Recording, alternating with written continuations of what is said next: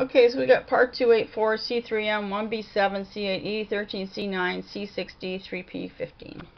Line 22, F1FA, 19C3M, 1B7, C8E, 13C9, C6D, 3P15, nonlinears, least squares, Jacobian, UFO, 5G WOW SETI. Here's our alien radio signal, and this one's about linearized model math equations, keyword research from the wild data. So January 24th, 2013, and today's the 29th.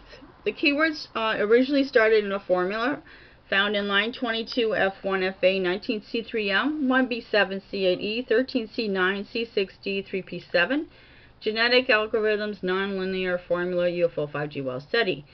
Um, the keyword recurrent and dependency graph led to mathematical optimization, and that was from our previous video, which was line 22 F1FA 19C3M, 1B7C8E, 13C9C6D, 3P14. Derivative Free Optimization Algorithms 5G WOW SETI. The source of that keyword of nonlinear least squares was from the website www.fundp.ac.be. and They're from Belgium, and it was a, research team that's doing some algorithm research. Okay, so the quote from Wiki is nonlinear least squares is the form of least squares analysis which is used to fit a set of M observations with a model that is nonlinear in n unknown I think it's in n unknown parameters. M is greater than n.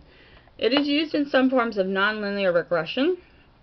The basis of the method is to approximate the model by a linear one, and to refine the parameters by successive uh, iterations. There are many similarities to linear least squares, but also some significant differences.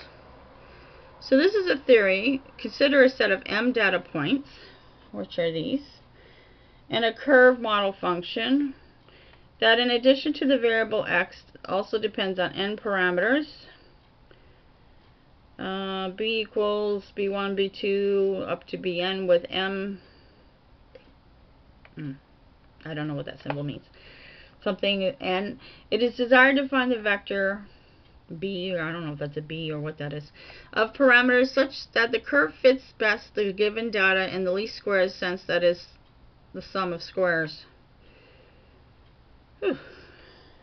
I have no idea what that means either is minimized where the residuals errors R1 are given by R1 equals Y minus F to that. Okay, the minimum value of S occurs when the gradient is zero. Since the model contains n parameters, there are n gradient equations. There's another equation for you to look at. The Jacobian J is a function of constants. The independent variable and the parameters. So it changes from one iteration to the next, kind of like neutrinos do. This in terms of the linearized model. And the residuals are given by this. make it a little bigger for you to see. Just a wee bit bigger. Okay. Um, January 24th. J for Jacobian, a function of constants. Okay, wow. Alien radio signal 6EQUJ5 comes to mind. I'm going to Google the keyword to see if it means anything. Jacobian 5 in the next video.